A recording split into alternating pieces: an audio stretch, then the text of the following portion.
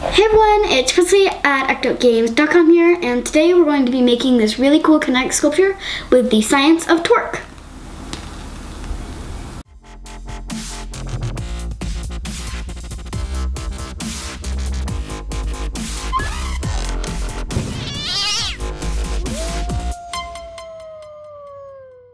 So tomorrow starts the five days of Christmas, as well as there's going to be a lot of toy reviews and toy opening because it's the Christmas holiday time.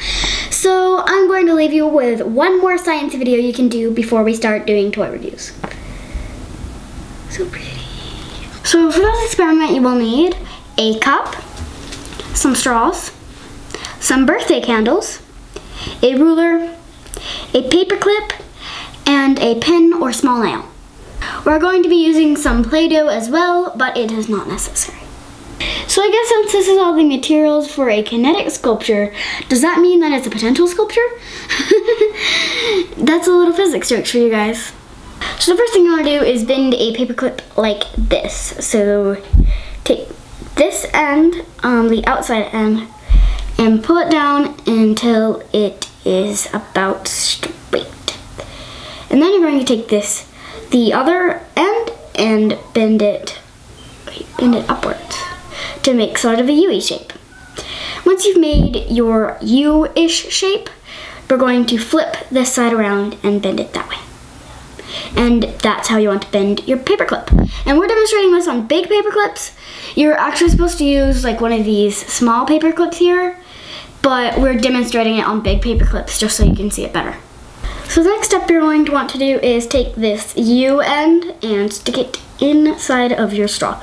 And it will end up looking like this. So next step is what Steve Spangler did is he poked a hole in the cup and then stuck his straw in, but we personally think it's easier just to use Play-Doh or any other kind of clay and stick it up like that. So when you're done, you'll end up with something that looks kind of like this. And this is your base for the sculpture. So now set the base aside and now we'll be working on the seesaw. So what we're going to do now is we're going to grab another straw and measure it with my, a ruler. I am using my Great Women Rulers of Science ruler and we're going to find the halfway point and then poke a hole in it with your pin or your nail.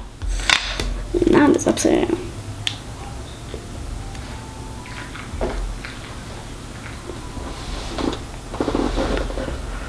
So you should put this, so poke a hole all the way through with your pen or small nail and not just through the top side. And then make sure that it spins freely when you put it on your paper clip. So now that you've got your hole poked, take two of the birthday candles and stick them in the ends of your straw. And it might, and it's okay that a little bit of the wax might fall off, but you're still going to have to put them in just so they stick you're going to put on your straw and it's going to slide down here and then push it back so it's about halfway between the straw and the end of the paper And it should be able to spin freely and not in this. Now you have to perfectly balance these candles, which luckily will be easy because of torque, and torque is the force that the weight of the candles is pushing down times the distance from the middle. So what you're gonna have to do is not keep shaving the candles until they're the exact same weight, is you're just going to have to slide these in and out, like if one's too heavy, you're gonna have to push it more in, if one's too light, you're gonna have to pull it more out, and keep doing that until they are balanced. Okay, so now the fun part begins now that the candles are balanced. We're going to light one of the candles on fire. And like I said in my last video, you need to have a hypothesis before you do something.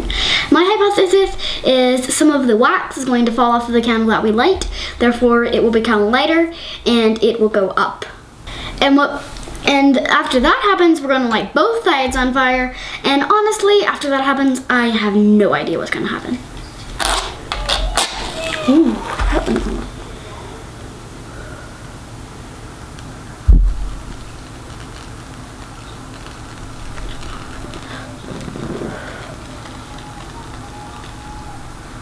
Cool.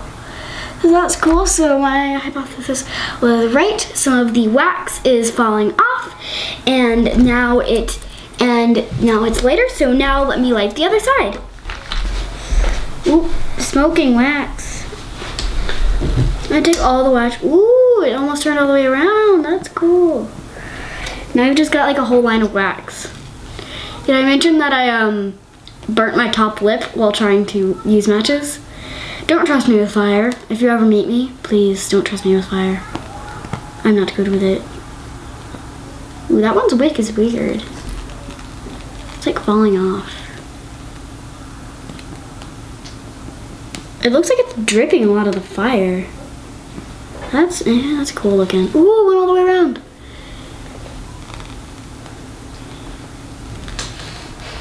So this is the kinetic sculpture that we just made. Um, I challenge you to set this up and ask your friends if they can find out what's going to happen before you light the candles. And it's really, really cool looking. I absolutely love this thing. It's beautiful and amazing. So yeah, thank you so much Steve Spangler for sending me the books yet again so we could find this amazing experiment.